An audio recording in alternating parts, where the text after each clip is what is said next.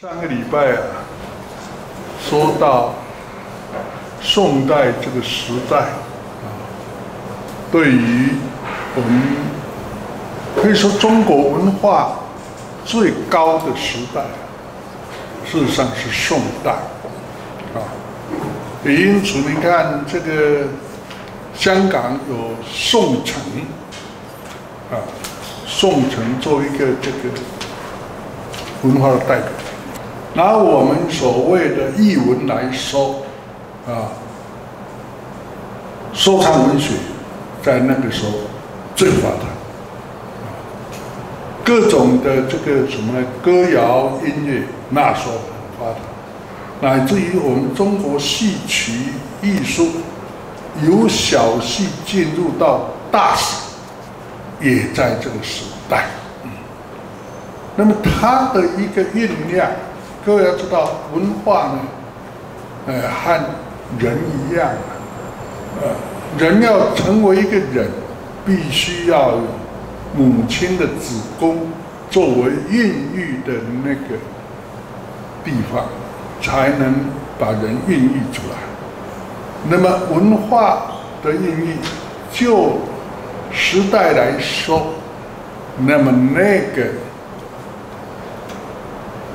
我们上个礼拜说的瓦舍锅南，瓦舍锅南就是宋文化的艺术一个大熔炉，一个孕育的地方，所以它非常重要啊，非常重要啊。以前人虽然提到这些，但是都没有深入去探讨它。第一个把它举出。啊，这个对于戏曲、对于文学一个酝酿大熔炉的，那就是瓦舍锅了，是我第一个把它说出来。那么里边呢有两种重要人物，一种就是这些表演艺术的，可以说。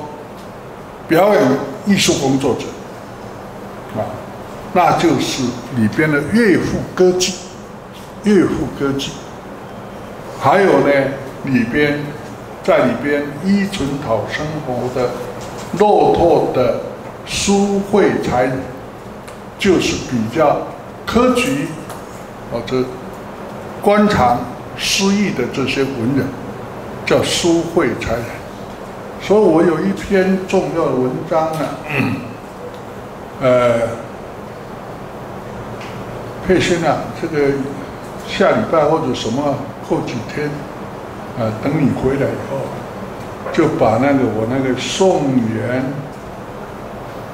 就是中央研究院我发表那篇宋元瓦舍锅兰及其。岳父书，及其岳父书会，呃，考述类似这样的文章啊，把它印出来给各位，免得他们去找很麻烦。各位这篇文章啊，你们好好读一读啊。宋元瓦舍国国呢，及其岳父，及其岳书会还是岳父书会？这这题目好像不太对，大概是这样子啊。那么这里边的所谓岳父啊，我简单跟各位说一下，为什么岳父的影响力那么大？因为我们中国人对于艺艺术家、表演艺术家。一向看不起、不重视，所以把以前的所有的这些艺术工作者，是简单说是怎么样？摆工。啊，以句话就没有，根本没给他们地位。你看音乐，音乐家就叫什么呀？连工啊，那么就连连人。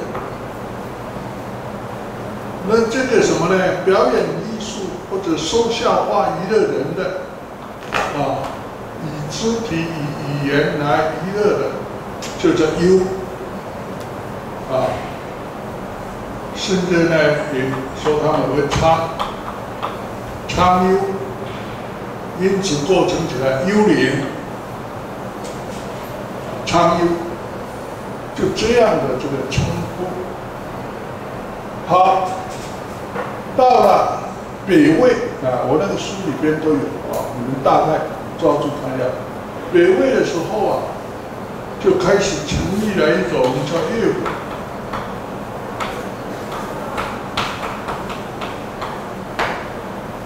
乐府呢，也有其他叫军府、医府。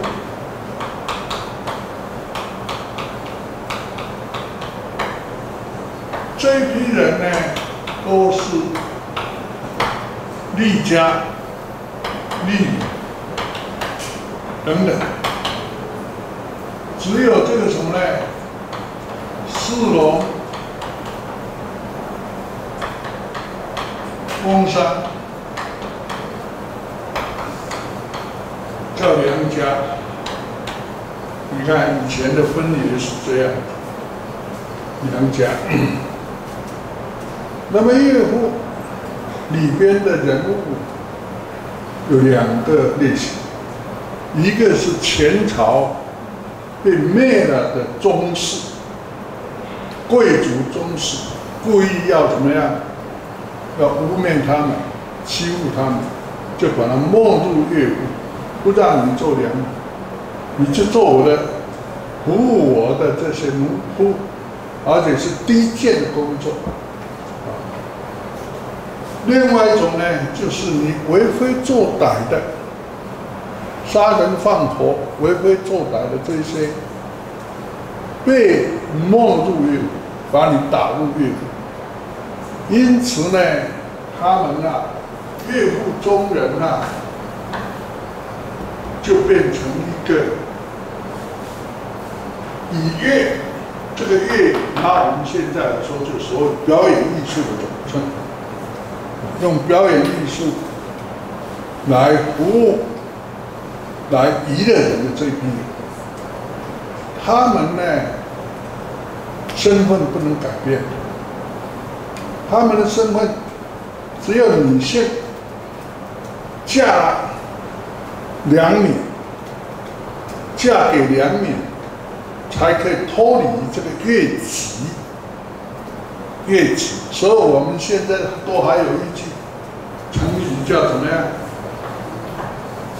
这个酒家里或者妓女部的女生，如果嫁给一般人，就叫从良。为什么叫从良？她就可以跟随娘家里边人，身份就不一样，不一样。而这个呢，你看。身份地位，这个从北魏纳入制度，一直到什么时候才开始解除呢？要到清代的雍正年间。我把它算过，这个时间的跨度有一千四百多。你看一千四百多，啊。最盛行的是明代，明代啊，宋元当然就也很盛，但明代最盛，所以明代的乐府遍布天下，这个是各位呢要了解的。那么在瓦舍波兰里边。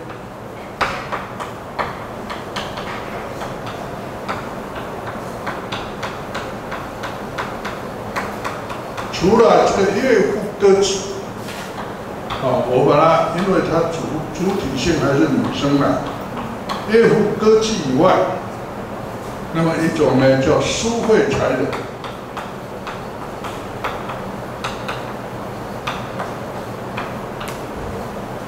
这个书会才人，他自称，可是，一般人呢也尊称他为先生。哦，他是书会的先生。那么这个书会有什么意思呢？在宋代啊，书会的意思其实就是类似我们现在所说的那个私人兴办的私立私立学校啊，大家可以汇集在一起啊，读书啊，研究啊，学问，然后照样可以考科举、考取都有。可是慢慢在这个瓦舍沟南里面的诗会呢，它又变成另外一种意义了。这种意义呢，就是这些落魄的书生文人自己集合起来啊。比如说，他那个地方是九山，他就称九山书会。如果在温州呢，那可以说温州永嘉书会。如果在北京的话呢，就有这个称“玉京书会”，类似这样的，一群读书人在里边，啊，都说这个是永嘉书会的先生，这是客气，也可以自称永嘉书会的才人，关汉卿、马致远。呃，这个乃至于郑光祖、元杂剧的这些名家，都是出身于书会啊，书会。那么这书会里边的人干什么呢？他们就是来创作，创作当初流行在民间的民间文学，各位注意。民间文学，所以小小到猜的谜语。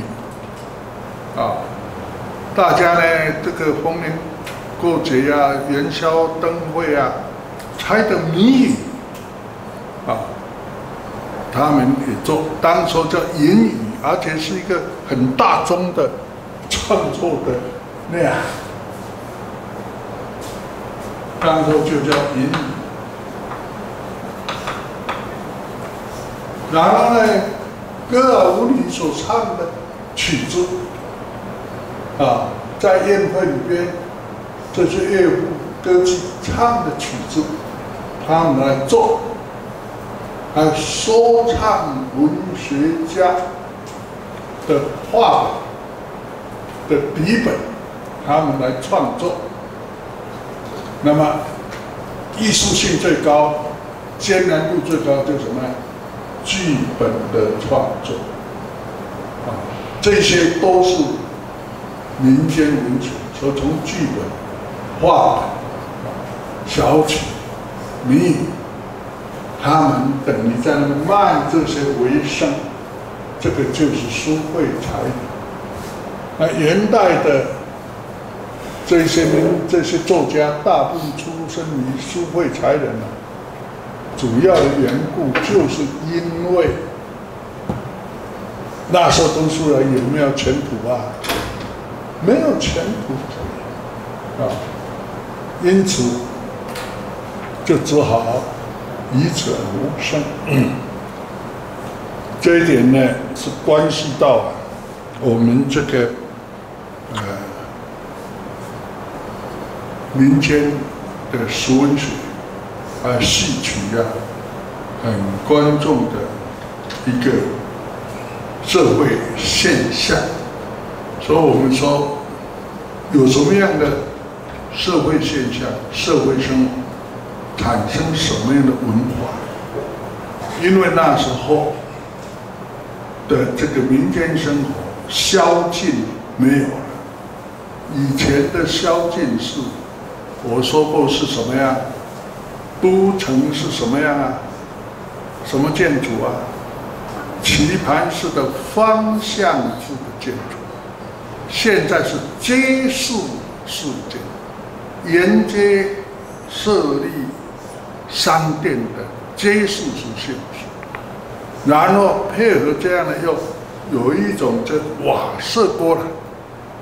那我们现在来说，我们现在台北市是不是是不是街市式的啊？我们的国家剧院，我们的这个城市舞台，我们的国父纪念馆，我们台北湾戏曲中心，是不是等于当初瓦舍波兰呢？道理一样，道理。好，瓦舍波兰里边，瓦舍是个大的表演区。我当年呢，就是说一九八一二年开始。在推动我们台湾艺术文化的时候，我所办的那个民间剧场，啊，民国八七十二年到民国七十五年，一年四年，轰轰烈烈的办，办到最后是两千多个表演的人，啊。光各级学校的学生就七百三十几个，啊，民间团体来参加的，不同类别就一百零九种，参加的团体就一百三十几个，七个团体，你们可以想见那时候的那个盛大，在青年公园呢，五天五夜，上午十点到晚上十点，节目不断。江陵文欢上里边呢有民间的艺棚一百个啊，手工艺棚，你一进去一个艺棚看十分钟，你一百个看下来就多少了？一百分钟是吧？也要一两个小时。还有大型的戏台演大戏。小型的戏台演偶戏、歌子戏、布袋戏和这个皮影戏啊，还有中型的呢，就演歌唱啊，一这个说唱艺术或者是歌谣啊，平台呢或者地面上就演杂耍特技。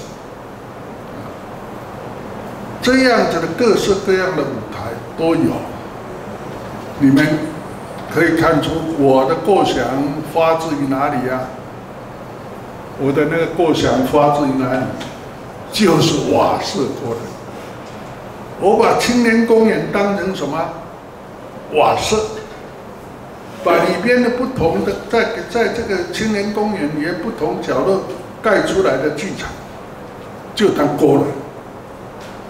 啊，这个学以致用是是如此这般的，所以像瓦舍锅篮里边的一个瓦舍的锅篮，有的可以多到五十五十几座的锅篮，最起码也十几座锅篮，各位就可以想见它的盛大。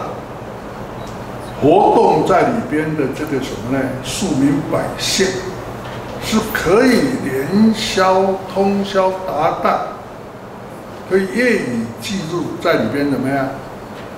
游乐饮宴，这个什么的，有歌剧，有茶房，有你想要买的各式各样的东西都有。这样的地方。才能应验运用广大群众的这种民族民间艺术和文学。各位，嗯我们现在呢没有瓦舍国了，所以当年我在策划传统艺术中心的理念，就是把瓦舍国兰怎么样，把它。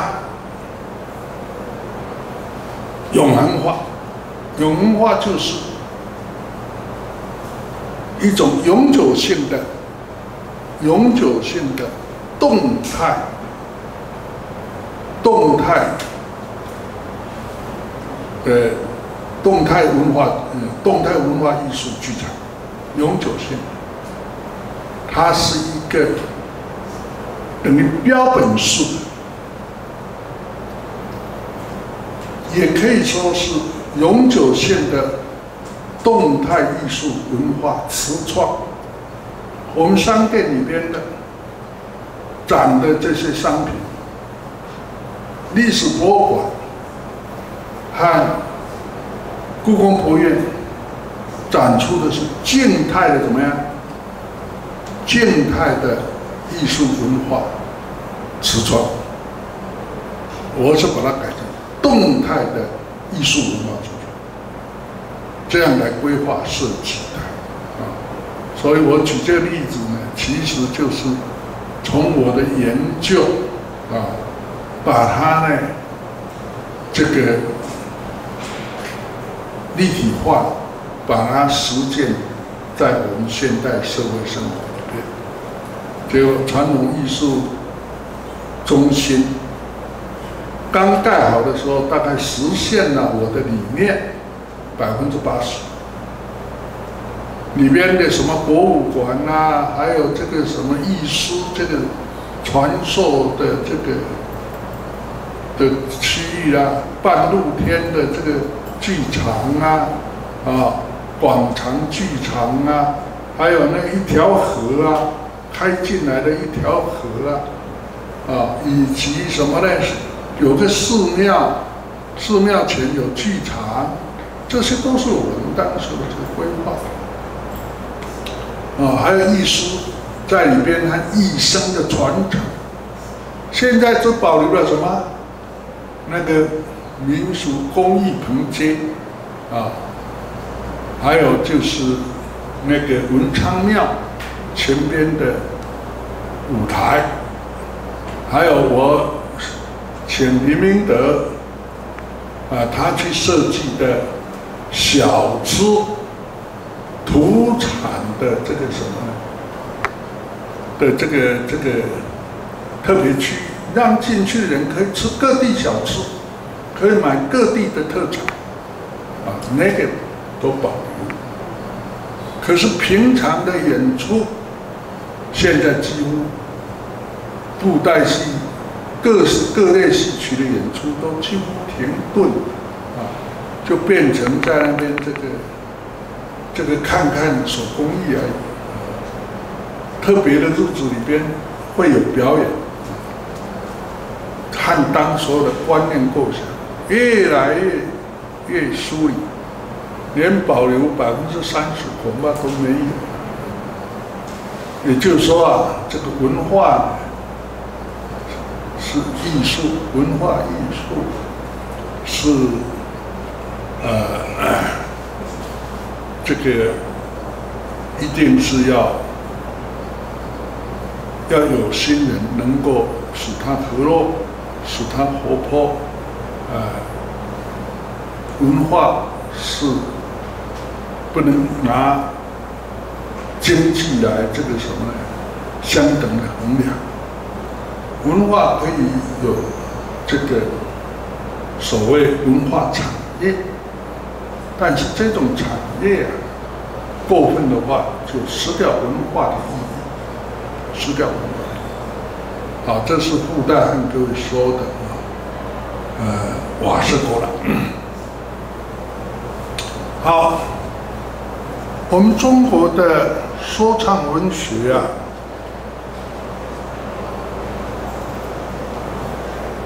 宋代以后啊，很明显的。产生了两个系统，这两个系统啊，我呢先把它写出来。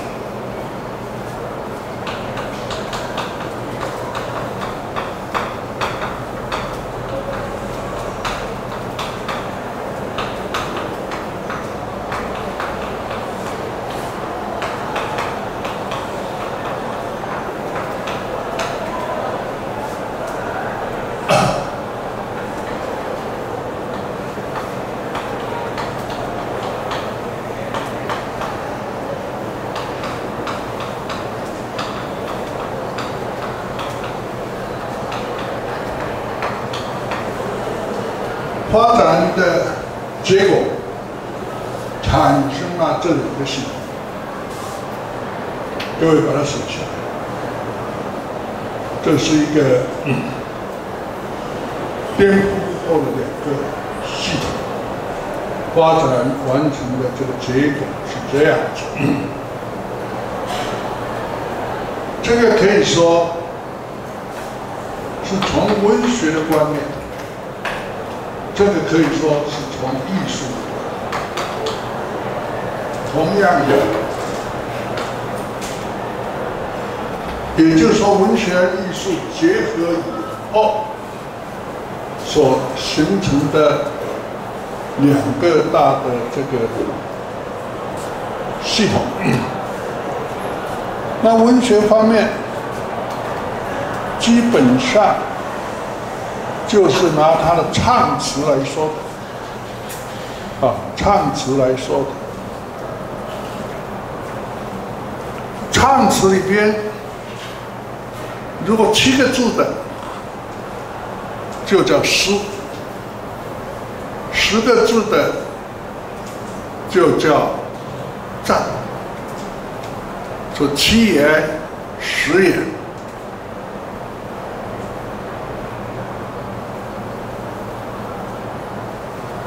诗体七个字，可以说是诗体由四言、五言。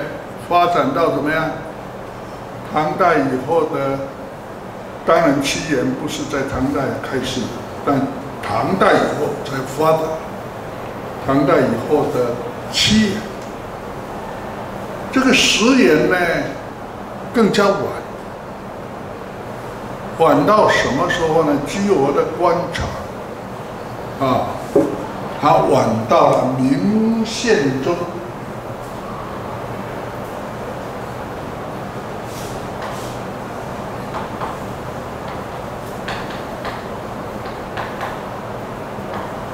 明宪宗成化年间，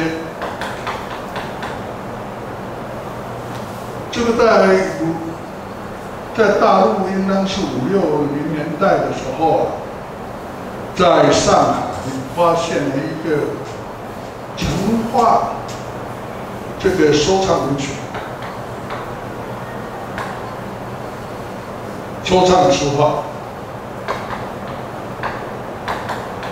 有这么一个书，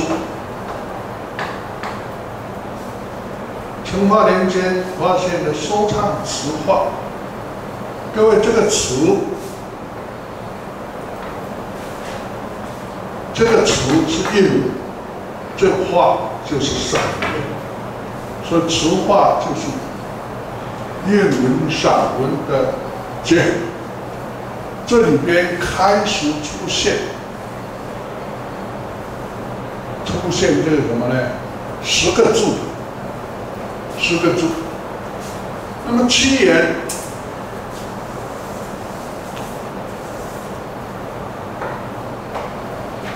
七言呢，它的音节的形式不是四三，就是三四。那以四三为正体。各位还记得不记得我们说的音节形式啊？这个是什么呀？单式，这是双式。啊，我们上学期说过了。十个言的呢，它以三三四为正体，以三四三，啊。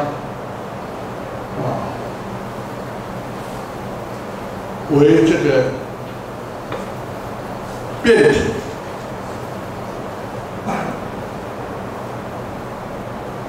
那么像这种就是双式，这个是单式，这个是双式，这个是单式，所以你看看七言十言。当七言是单式的时候，十言就用双式来对待，所以还是取得什么单双之间的一种平都有应用。它会正，当然会辩解说是三式的双式，它就用三式三的单式的配搭。这是唱曲，各位知道词曲系、宋词言曲，它都是长短句。这个句子从一个字、两个字、三个字、四个字、五个字到六个字、七个字都有，每一个句子。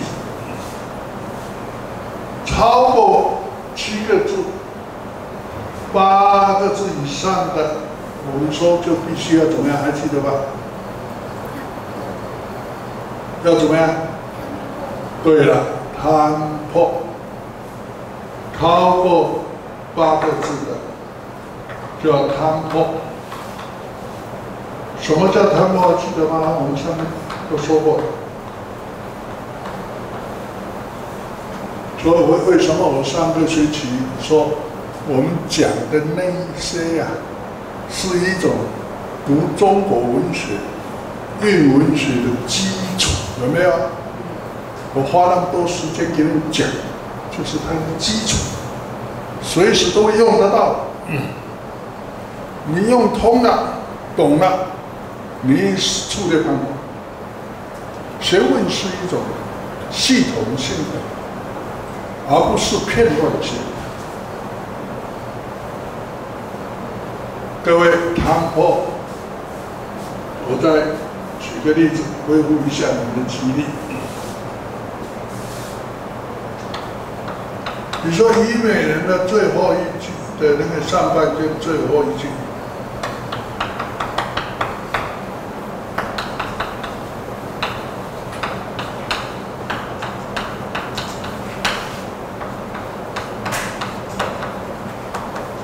这是以后的医美。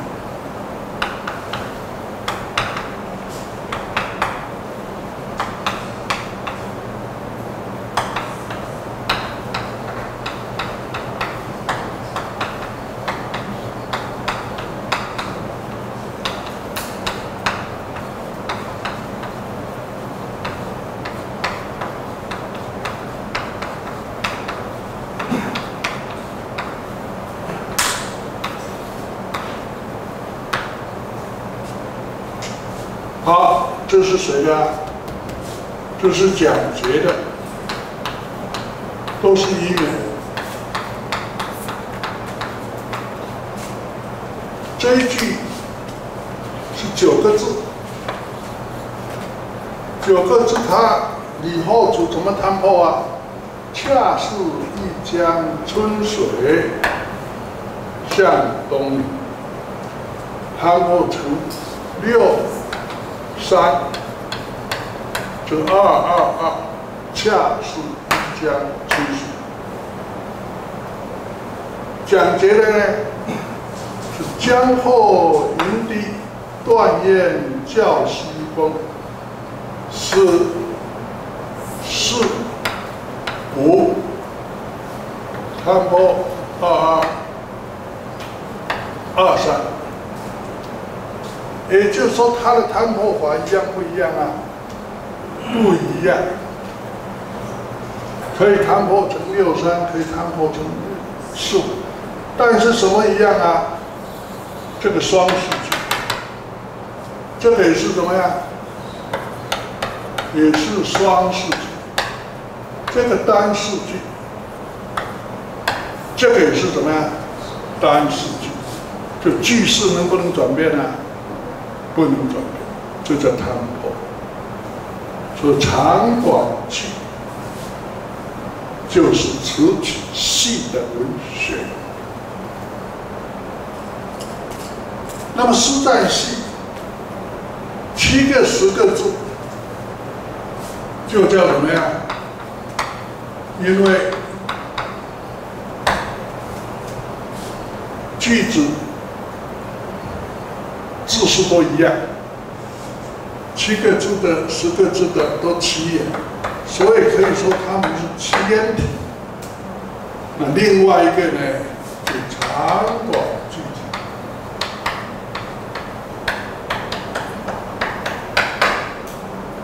因此，这个呢，也可以叫奇言，它也可以叫长短句。各位，我们现在讲的，一般人都不讲啊，一般书你看不到。好。这两笔就出来了。那么在音乐上，音乐上，我们中国的戏曲音乐最复杂。那它包含哪些元素呢？戏曲音乐主要的元素有宫调、曲牌。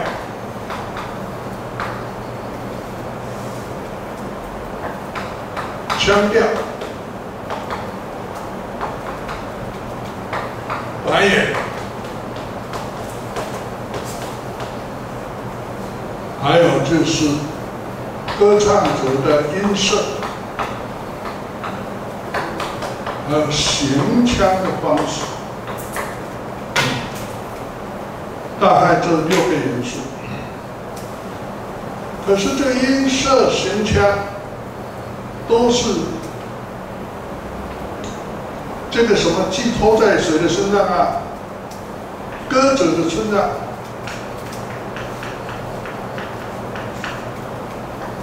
是因歌者而已。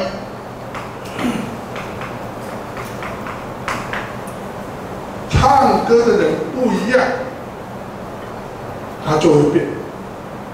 所以一般我们就姑且不论。但事实上，它影响很大，影响很大，就戏曲音乐的元素面啊，影响很大。可是它变化，所以我们呢，就姑且不论。好，因此呢，就剩下这四个元素。什么叫宫调？什么叫曲牌？什么叫还原？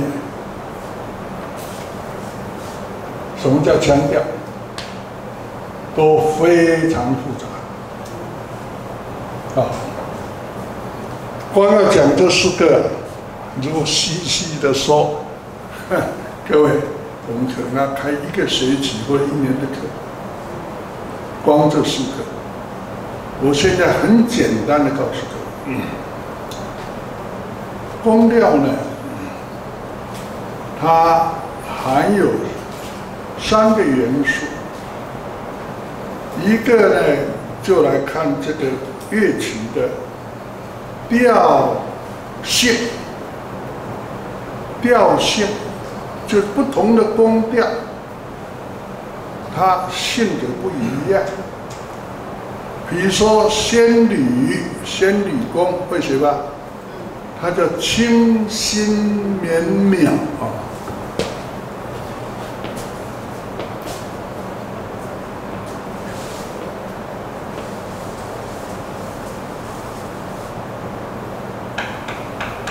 比如说仙女宫，它性格是清新绵渺。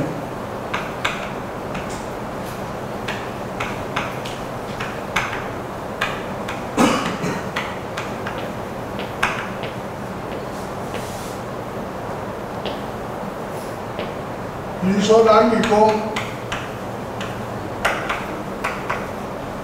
就惆怅雄壮，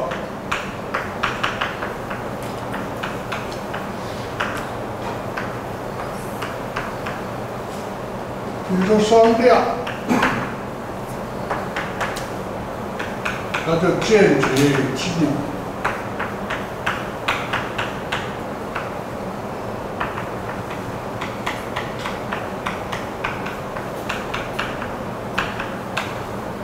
比如说中理宫就刀下闪转，比如说月调就桃水冷笑，大师调就风流韵集啊，正宫就这个呃男女说错了，正宫是惆怅雄壮。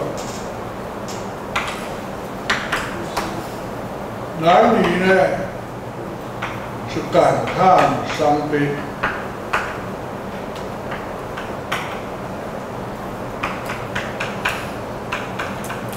你看同样的悲调，伤调呢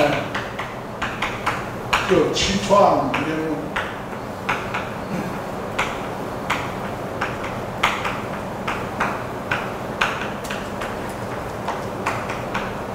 你看，类似这个呢，就古人所说的这个调性。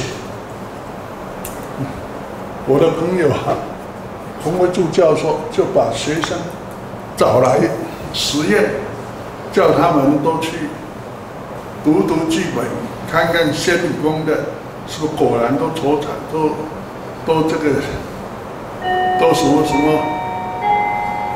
清新苗美渺渺，类似这样统计百分比啊，统计的天花乱坠。我说啊，你浪费时间了，莫此为甚啊！这个以后再说。这个调性啊，调高，调高，各位比较清楚啊，高低就是频率的问题啊，频率。高的调当然高啊，调式，调式有宫调式、商调式、语调性这一些乐曲的这个结构啊，这个宫调原来具有这样意义，可是宫调后来慢慢的呢。由于宫调的形成和宫调后来在民间的这个称呼，弄得很混乱了。好，休息一下，我们再说宫调是怎么来的，民间又怎么来的？以前音乐是很发达的。非常古老的岁月里边，就包括在先秦。那先秦你到底是商啊，呃，周啊，就不太清楚。有一种叫立管，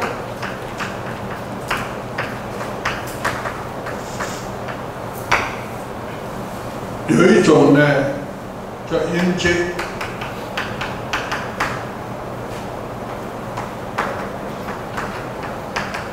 那立管当初用的有两种，一种就是真的管，一种是用钟。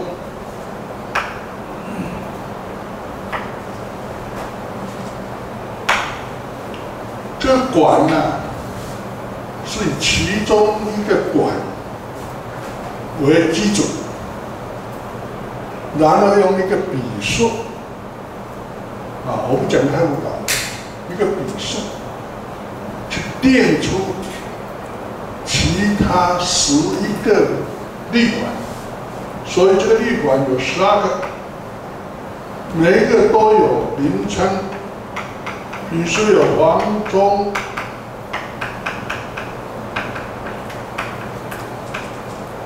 也有燕钟啊，蕊宾钟。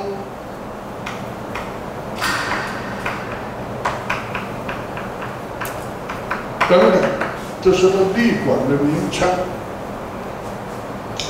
它这里边要分阴阳，律为阳，阴为理，所以叫六力六。这管呢，考古学上没有发现，可是这个钟来作为定音的钟，在考古文物里边是发现的。你发现了一个钟，就叫蕊宾钟，就表示这个钟就是蕊宾这个音律的基准，由它来定。啊，音阶各位知道有两种，一种五音，宫商角徵羽，啊，会吧？另外一个宫商局，还有变怎么样？变主、变宫，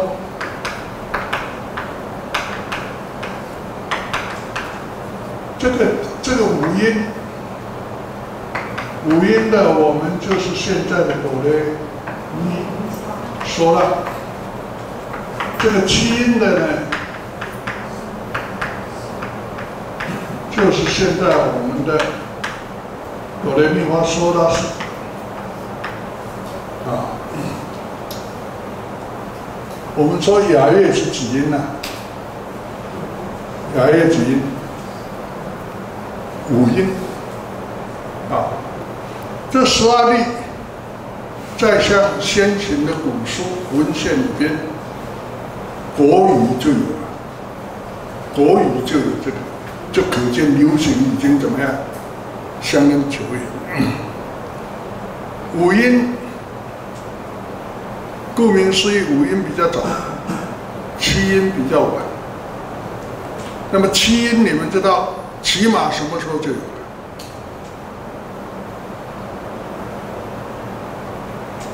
有一个有名的故事，燕太子丹找谁要去？刺亲王啊，荆轲在哪里送别啊？在易水。我未来要去平调一番，让一个朋友把我开到易水边，正在一条小水沟。还好，那条小水沟旁边还有五头当年镇水的神牛。石头的声音，这都是很古老。他唱啊，风萧萧兮易水寒，壮士一去兮不复还。是谁集什么高见里集主？里边有一个什么为变子之音？有没有？变子之音表示他那时候唱出来起音阶的。可以证明那时候在战国墓里起码有七阶。那我们这个什么呢？宫调的起源就是由玄宫而来。譬如说，以这个黄钟为基准音。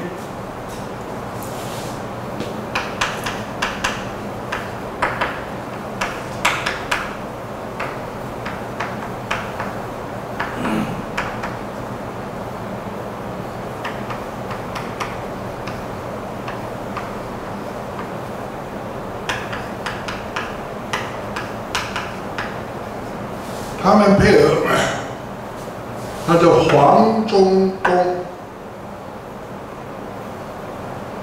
然后呢印中商，这样十二个以后，他可能要黄中什么？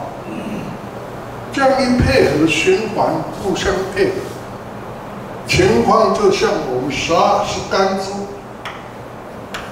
甲乙怎么样？丙丁这是干支，到子丑寅卯，我们配合这个年月日的，配合是甲子、乙丑、丙寅、丁卯这样下去，旋转一次，再来一次，就是六十年后，所以叫一甲子。这个呢？怎么样悬弓下来，七十二就会有几调啊？八十四调，八十四个宫调，是我们呢耳朵无法辨别。所以在唐代就剩下四十个宫调，甚至往下有一位西方来的音乐家叫苏七火。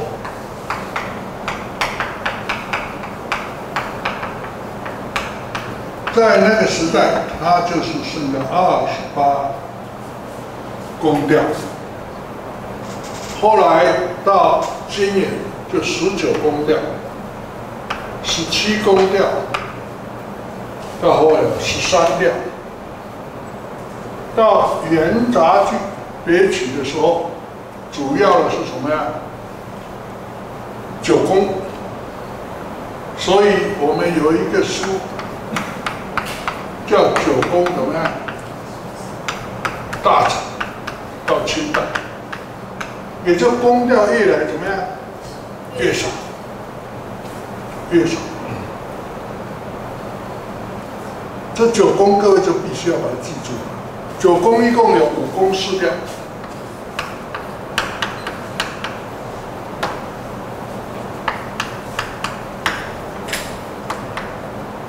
五宫。黄忠、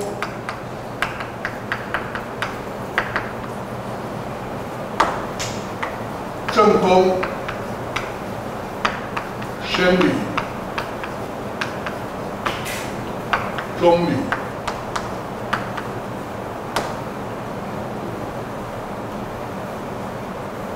还有呢，黄忠、正宫、宣礼、中礼。男女四调，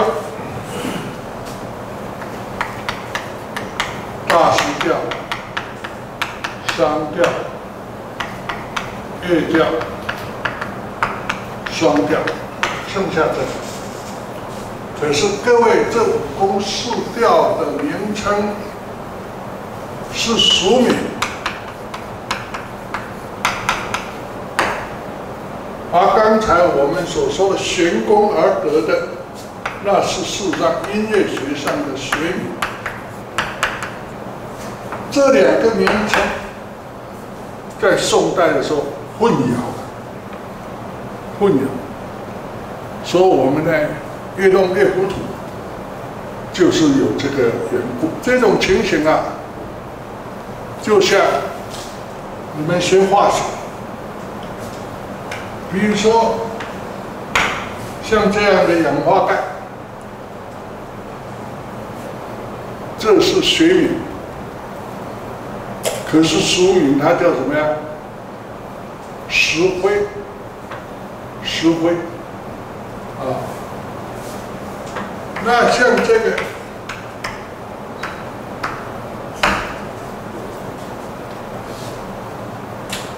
这个是什么？碳酸化氢，学名叫盐酸。啊，同样的情形，你这个氧化汞，学名俗名叫三酰氮。啊，三酰氮。那像这个呢？我们一天到晚吃的。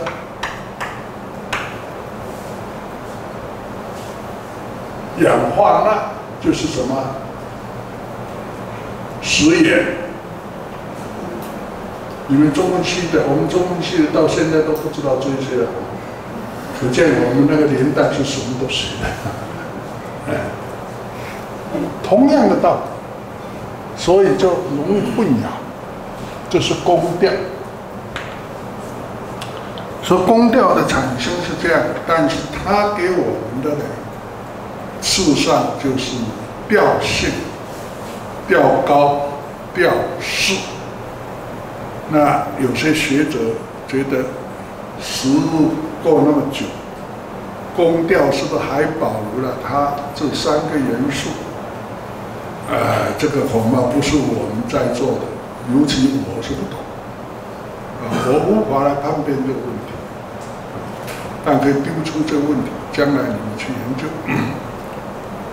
第二，就取牌，我们说过了，一个取牌要具备几个例则啊？还记得没有？要八例，取牌八例都具备的。先说哪八例？复习一下，配学你们复习一下。好，正字律有多少个字？正句律有多少个句子？长短律，长长短短的规矩。第一个字，第一句几个字？第二句几个字？都一定就叫长短律。谐韵律，哪个地方该谐音？哪个地方不可押韵？哪个地方可押韵？可不押韵？这个叫做谐韵律。而且一支曲子拿起来说，只能学一个韵部；一个套子也只能学一个韵部，这叫谐韵律。还有平仄律啊，平仄律你们都应该知道。但是曲子里边更进一步要讲究怎么样？声调，哪些地方用什么样的声调是不可改变的？还有句子的什么样句音节形式的单双律，还有一个文字上的这个对我力。另外还有整个句子的句中语法力。你看，一个曲牌是这八个元素构成。如果八个元素都非常讲究，表示这个曲牌的人工制约非常的紧密，这个曲子的艺术性是高还低啊？就很高，很细致。如果这个曲子的这个八律，它呢只具备了其中几样，那么这个曲子的音乐性就没那么样精致，对不对啊？这是基本原理。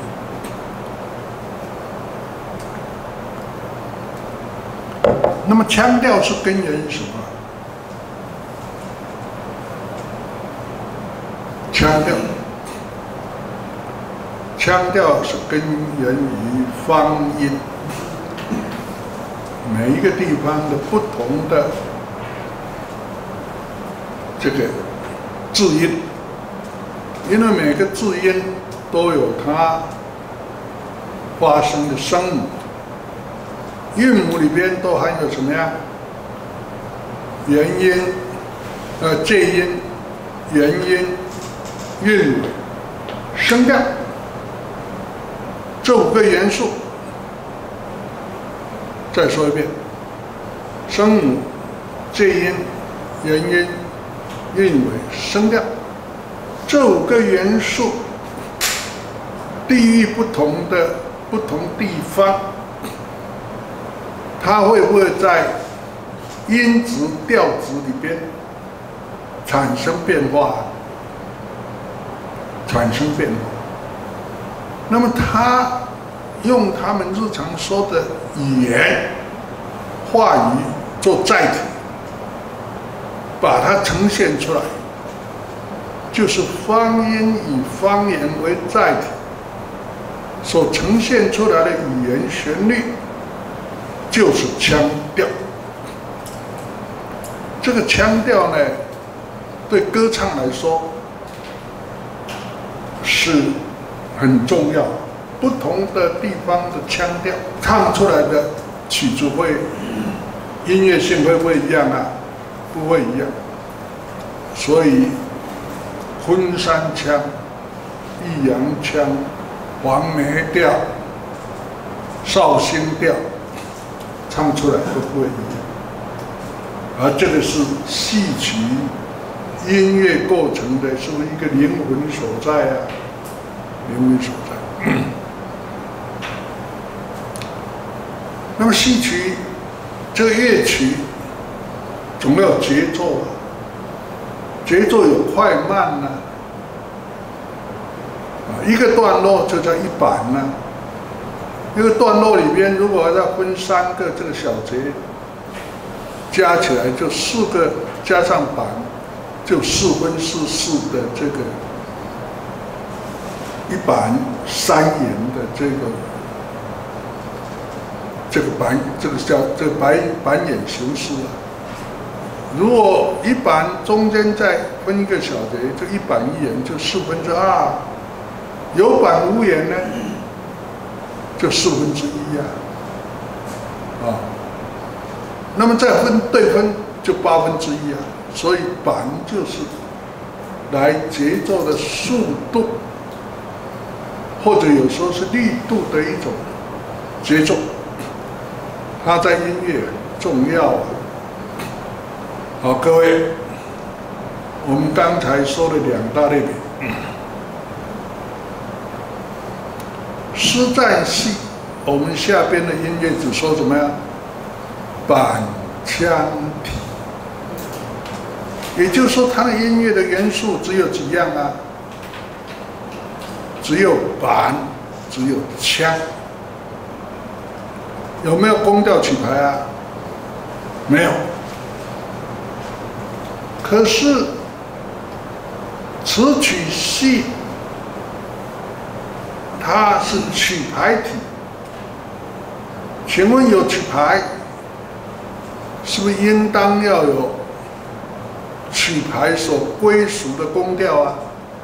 因为曲牌是在宫调归属里边的。那么要唱的时候，它同样要有腔调啊，同样要板眼。所以词曲系曲牌体事实上具备的音乐元素。就有四个，懂了没有？有宫调、曲牌、腔调、板眼式。可是书战戏所具备的只有哪两个啊？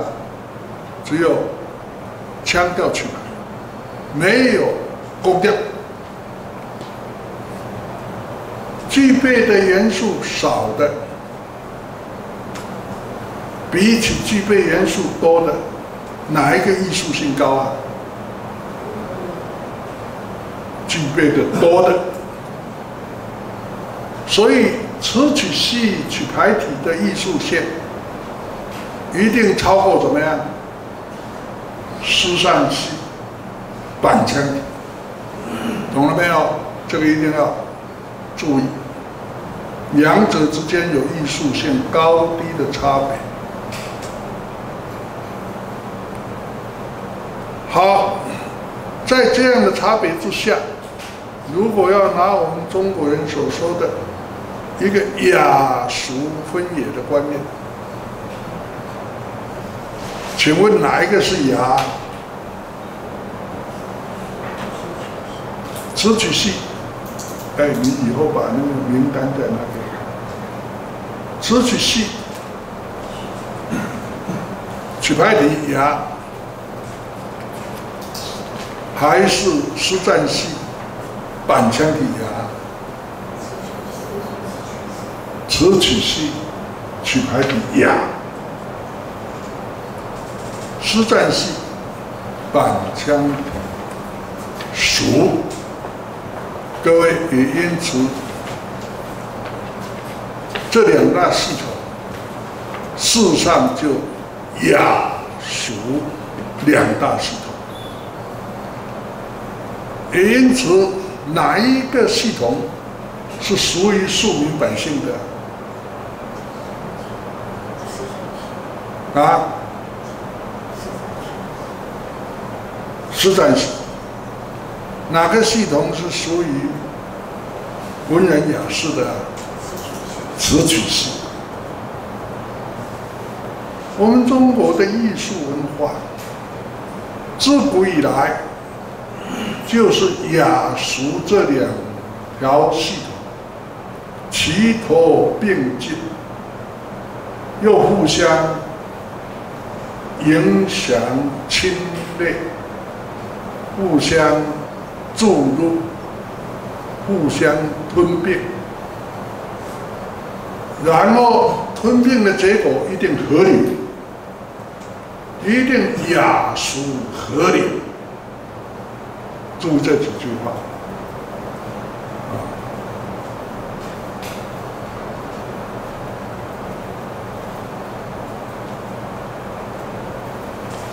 雅俗合流的结果。请问会产生什么样的现象？雅俗合流以后，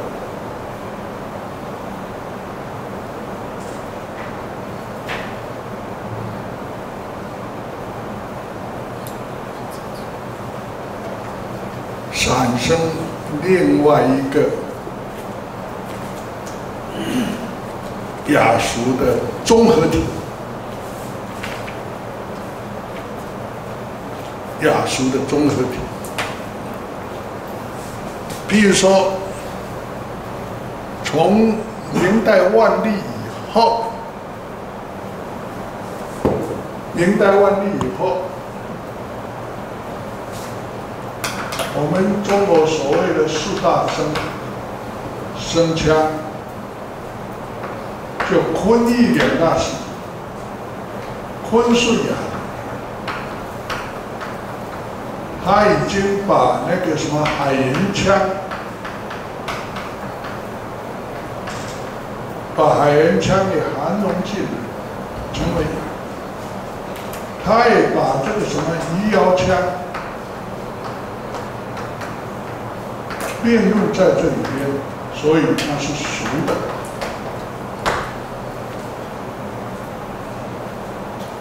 这两个互相争啊。前进，交流就争，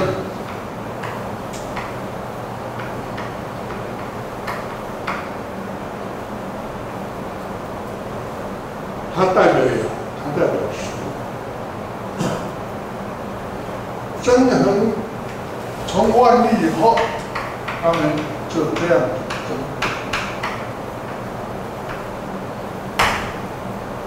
就到了。康熙，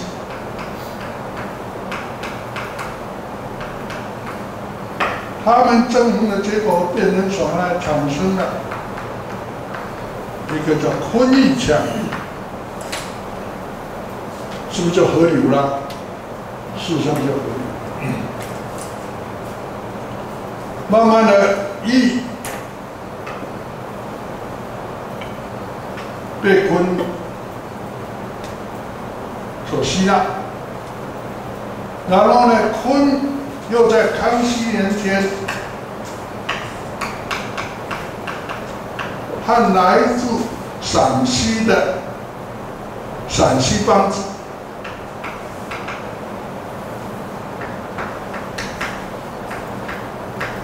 这康熙年间是陕西梆子。那时候我们中人第一次称它为乱党，因为文人啊多听这个梆子，觉得他乱七八糟的谈，所以叫乱谈。他是雅，他是实，这两个一合理。就叫昆邦，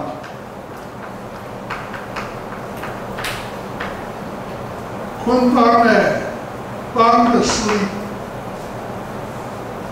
稍微大一点。比如说这个斑又和已经在北京成立的益阳枪，这个益阳枪，金化的益阳枪，叫金枪。比起来，金是雅，邦是俗的。这竞争的结果又叫金邦。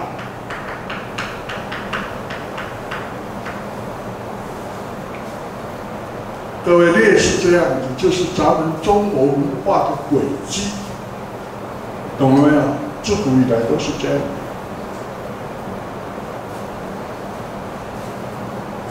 所以，俗文学慢慢发展，会成为雅文学。雅文学在书画就另外一种。通俗文学的产生，这个通俗文学又在演进，又变成一个新时代的雅文学。《诗经》在孔子的时代，它是什么雅文学、俗文学啊？国风里边，《诗经》时代的孔子说，国风是俗文学，雅颂是什么呀？雅文学。我们现在谁敢说国风是俗文学啊？没有人敢说，因为它已经寄生为雅文学。同样的，我们中国古代的雅乐一定是什么演奏的才叫雅乐啊？什么演奏才叫？金石，就是钟磬。乐弦演奏的那个才能叫雅乐。好，雅乐像汉代从胡越匈奴胡人西域那边过来的，胡越，胡越是雅乐俗乐啊，俗乐常常用在宴会里边来歌唱来演。所以我们又就叫它宴乐，宴就是在喝酒的场合。这个宴乐到了南北朝，它就变成轻商雅乐，像我们现在所说的南管音乐。南管音乐就是从唐宋大曲这一路下来，它原来是胡乐啊。唐宋大曲事实上就是现在新疆乌鲁木齐附近的维吾尔人的音乐，他在那个时代当然是俗乐。可是大曲的音乐。传到现在，谁还敢说它是俗乐？因此，南管音乐，你现在不能说它是俗乐啊。所以雅俗的观念是如此这般。好，我们现在要从唐代一直下来的说唱文学。和戏曲剧种来依附在这两大系统里边，有两种方法，一种是顺着源流说的，一种是逆推上去。我想我们还是用顺着源流，所以像。这个早一点的，我们说上个礼拜说的《一周书》，它是通俗，它是这个呃，可是呢，那个荀子的什么歌啊？丞相。我想在那时候应当也是通俗的，可是我们现在看起来它是很雅的。往下来看，汉代的“孔雀东南飞”，我们现在看起来也相当雅，可是，在当时一定也是俗的。它是奇眼，可是汉代的那一些乐府诗，你们都读过乐府诗，有好些叙述性的乐府诗，像“日出东南雨，照我秦氏我”这些乐府诗，或者辩护写、孤儿写。等等这些入之这个什么不出东门写等等这些叙述性的乐舞诗，现在看起来长长短短，是非其言的。好，到唐代，唐代我们所看到敦煌里边。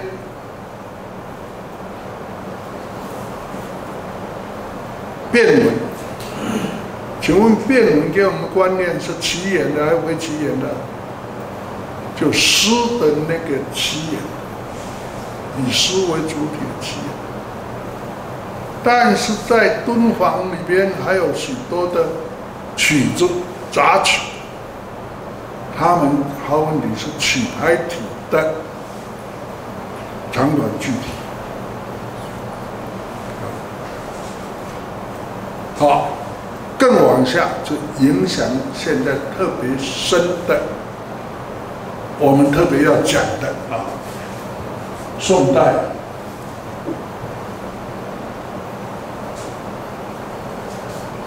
宋代在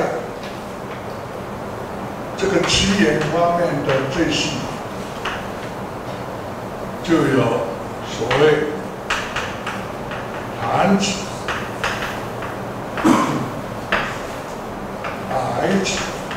牙齿，三个具体的，在北方有珠峰庙。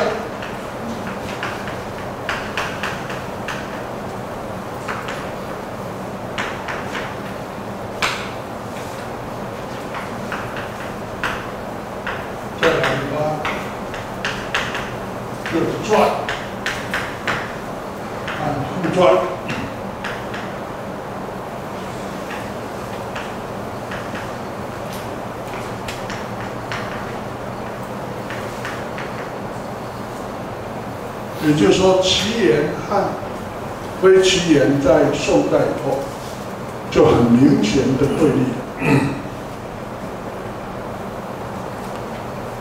弹词在当初又叫陶真，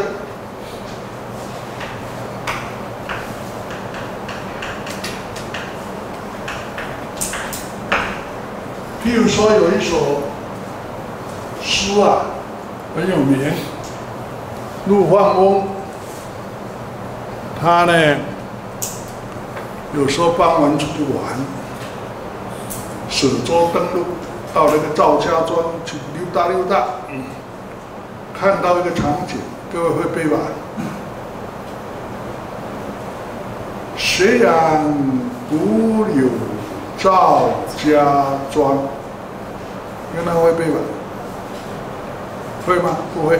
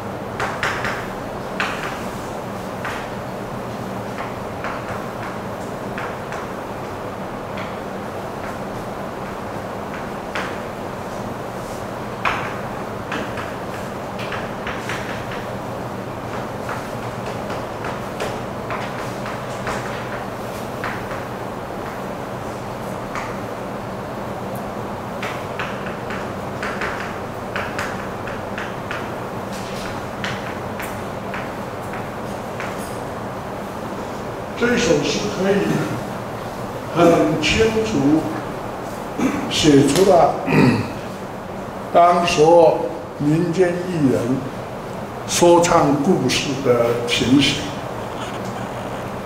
这种情形啊，可以说从汉代的那个说唱名啊，一直下来啊，或者是从先秦我们说蒙古说诗、瞎眼睛的那些，都一路子下来。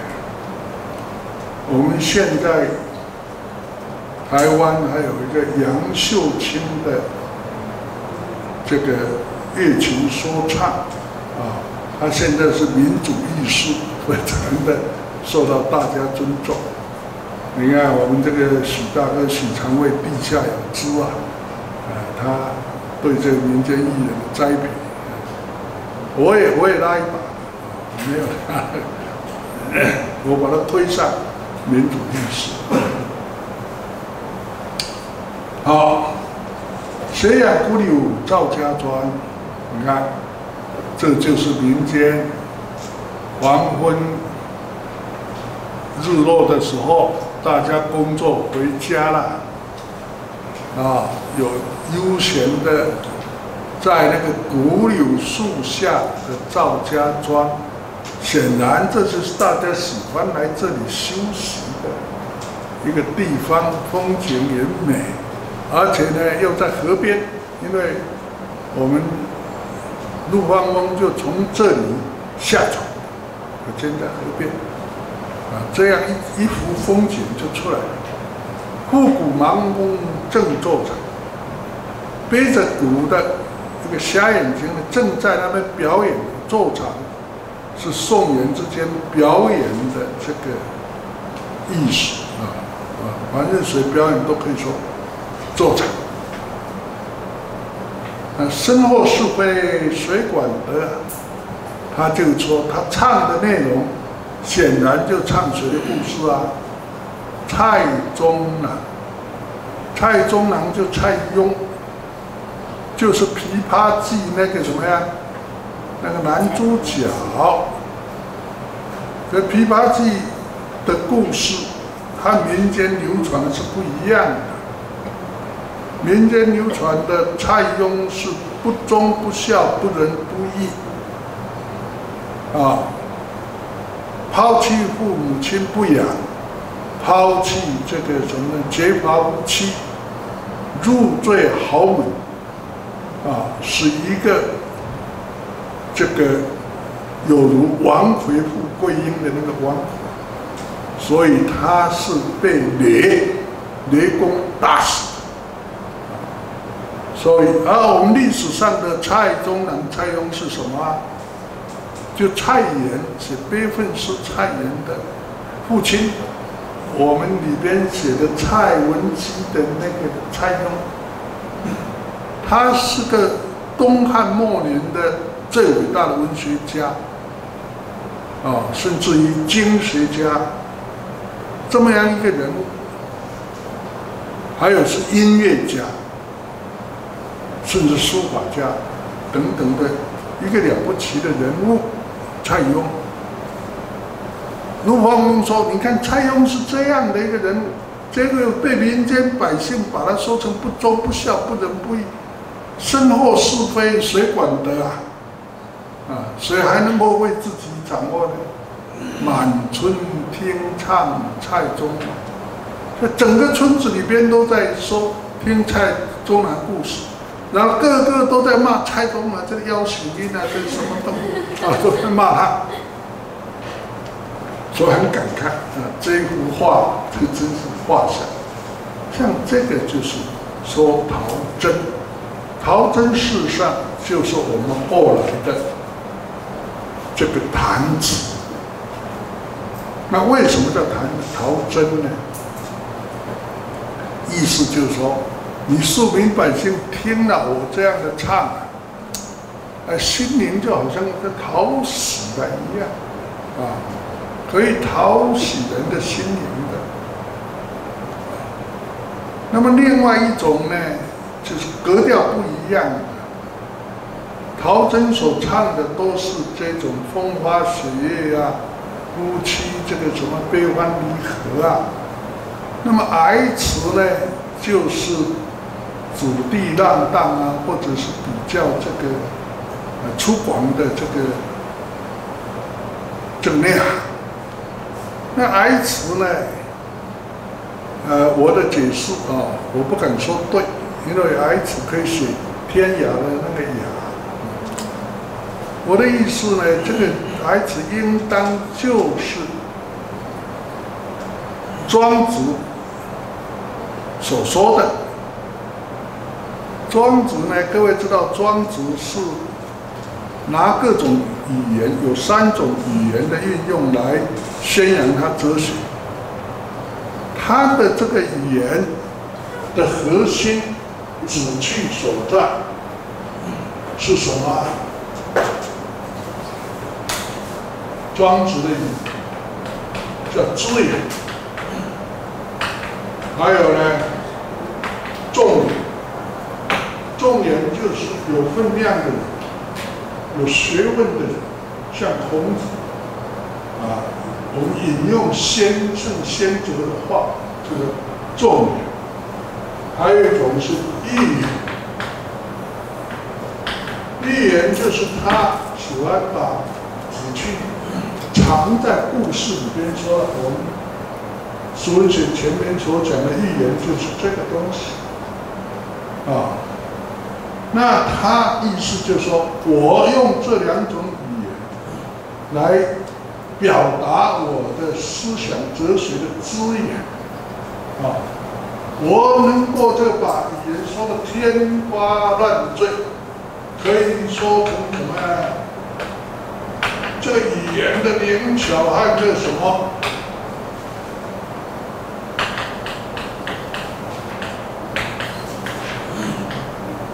我可以把它说的天花乱坠，无端啊，无端崖之言。端就没有，你不知道什么叫开头，也不知道哪里是结束。所以我想这个这个哀词呢，可能就取这个。就说起来让你天花乱坠，让你呢引引人入胜，啊，这个如何如何啊？类似这个的，就是在宋代啊齐烟体里边的一种。好，我们下个礼拜呢再来谈呢。另外，这个《诸公调汉物传》这个比较重要。